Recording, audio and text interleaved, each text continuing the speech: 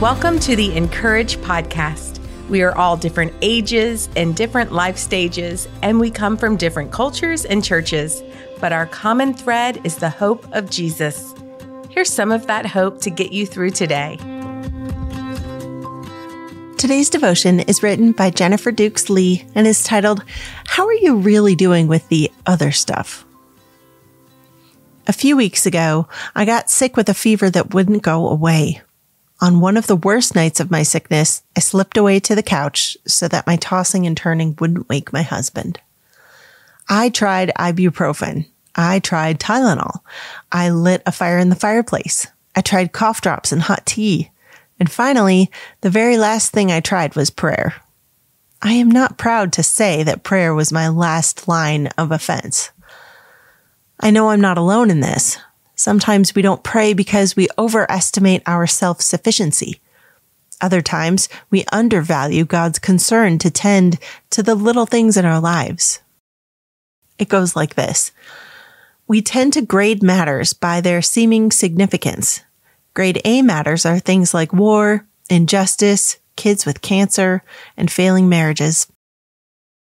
Those things are important and deserve our attention with prayer.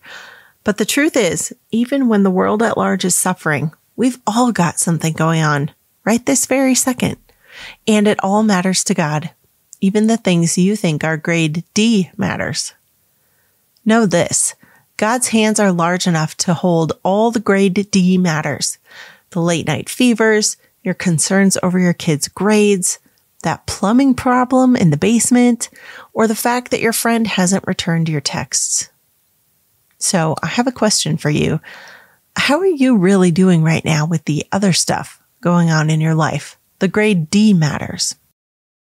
When something big happens in our world or our community, we tend to minimize the other stuff. We don't want to burden our friends or God by letting them know what else hurts right now. I've said it before, but there have been times in my life when I've been reluctant to share with my Bible study girls about an emotional struggle because someone else was just diagnosed with cancer. I categorized my pain as grade D and hers as grade A. I'll tell myself things like, I shouldn't be this sad or worried. It could be worse. It's also possible that you've been the victim of the my life is harder than yours game. It happens when you share your hard but according to someone else, it isn't hard enough compared to what they're going through.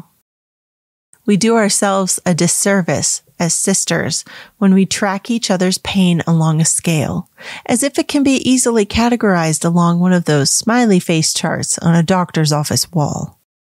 Here's the thing. God doesn't stop caring about your other stuff just because other people, this nation, and this world are walking through really big trials. Hard things in other people's lives do not negate the pain you are carrying personally with your finances, with your baby's erratic sleep schedule, with your anxiety, with the disagreement you had with your dad, with the pressure of those deadlines, with your anything. Recently, I read Paul's second letter to his buddy Timothy. He spends most of the letter writing about the big stuff, godlessness in the last days, suffering for the gospel, sound preaching. And then, toward the end, he gives Timothy a final instruction. Bring the cloak that I left, also the books, and above all, the parchments. 2 Timothy 4:13 ESV. It's the cloak that gets me. At this point in the biblical narrative, Paul was an older fellow getting close to dying while locked up in a cold prison, and his only coat was many miles away. I don't know why that bit about the cloak is in there, but I do believe that scripture is God breathed and that every word is there for a reason, even the hardest and weirdest parts of the Bible. Every word has something to teach us about God or ourselves.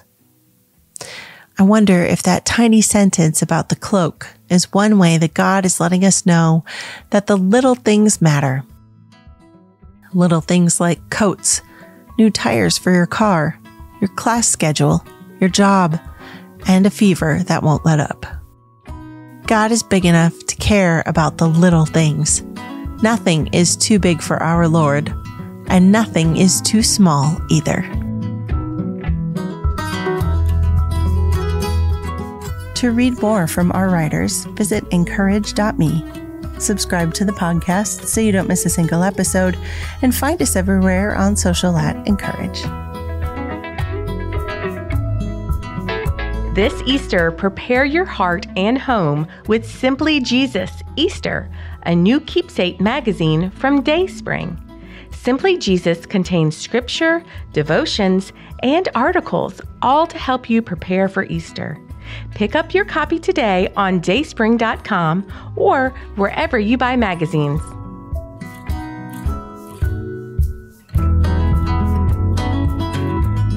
The (in)courage podcast is brought to you by Dayspring. For over 50 years, Dayspring has created quality cards, books, and gifts that help you live your faith. Find out more at dayspring.com.